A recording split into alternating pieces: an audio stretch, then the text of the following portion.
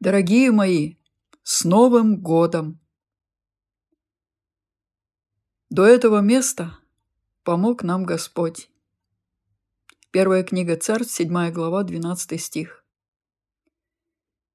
Сегодня я собиралась дописывать свой новый рассказ, но тут вспомнила, что послезавтра Новый год. И на память мне пришли вот эти самые слова. До этого места помог нам Господь.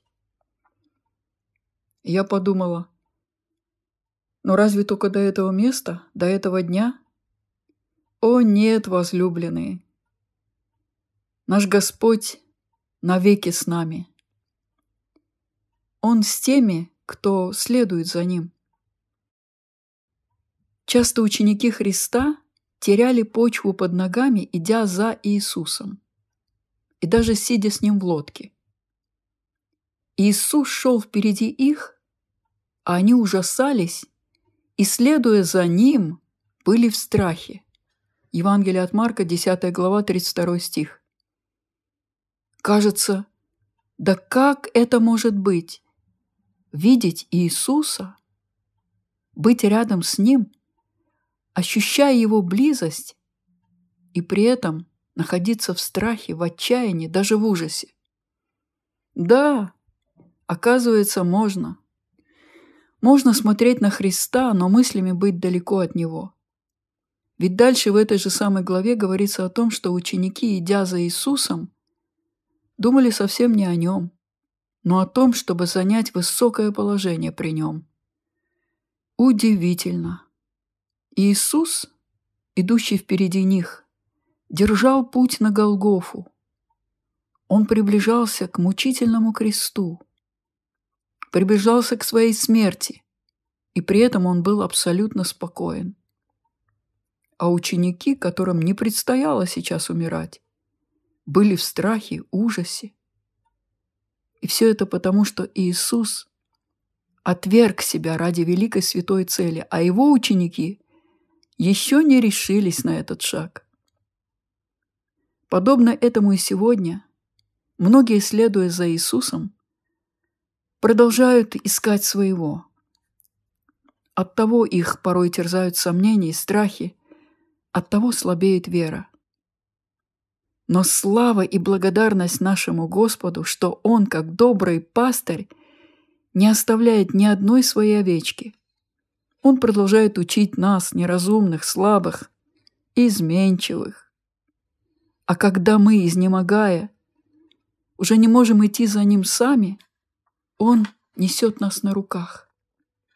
Однажды один молодой отец гулял с маленьким сыном в лесу.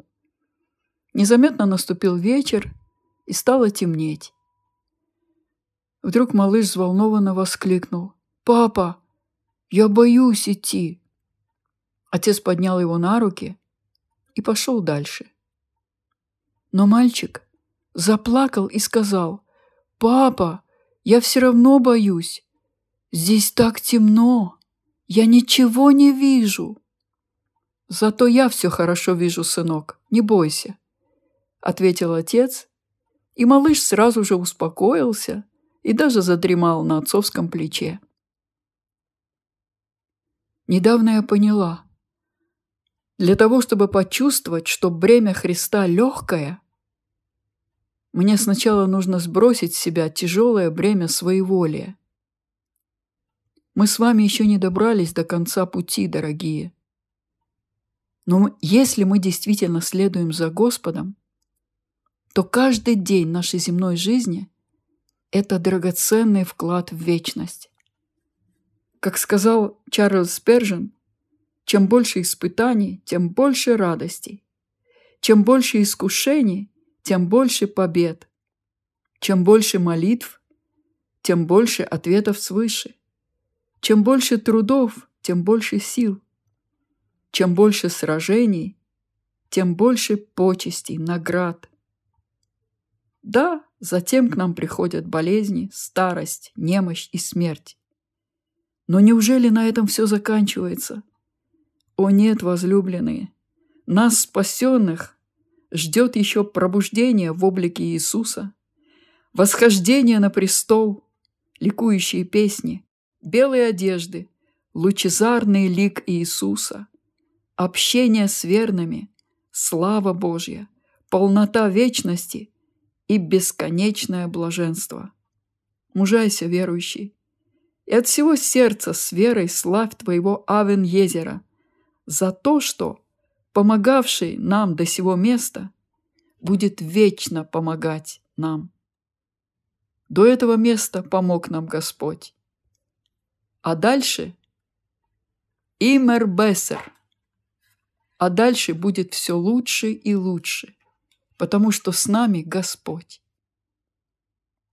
Он сказал, «И вот я с вами во все дни до скончания века.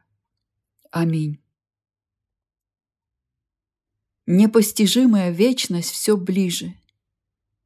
Как мне понять эту тайну, не знаю. Сердцем спасенным я все это вижу. Сердцем влюбленным Христа ожидаю. Только бы чашу допить испытаний, Только бы огненных мук не страшиться, Чтобы через скорби и через страдания Вечным уроком Твоим научиться.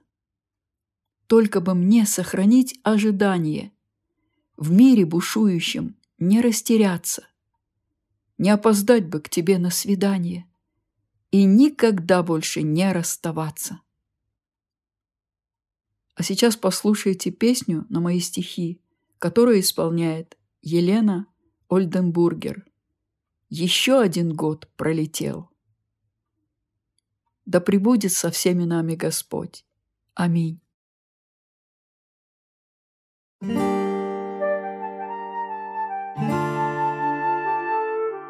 Еще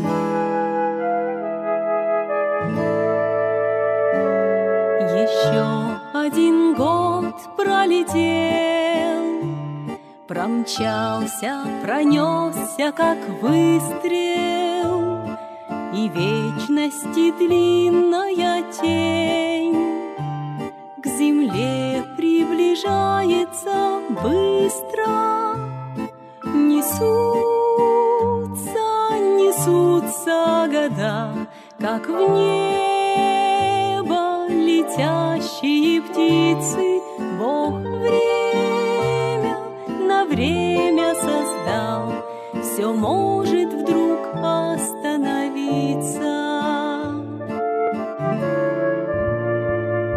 Но к Богу не делают шаг. В упорном неверии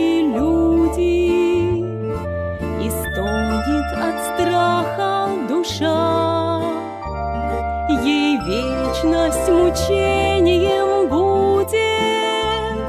Несутся, несутся года, как в небо летящие птицы. Бог время на время создал, все может вдруг остановиться.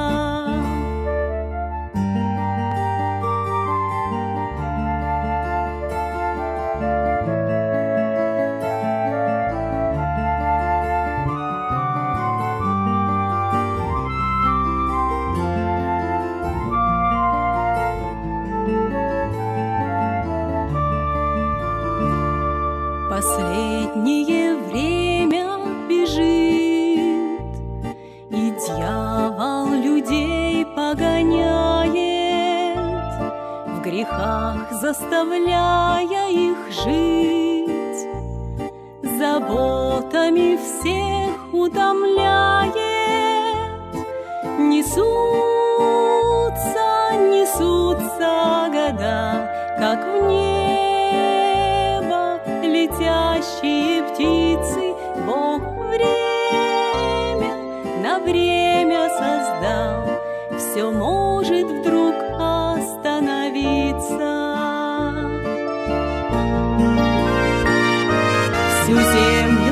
охватит огонь, Все небо, как свиток, свернется. Войдешь ли ты в Божий покой, когда его вечность начнется? Нашел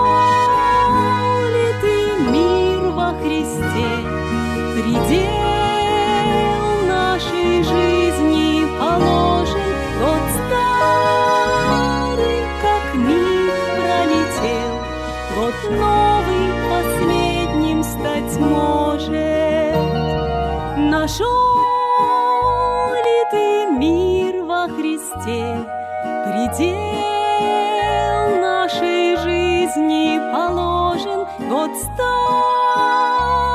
как миг пролетел Год новый последним стать сможет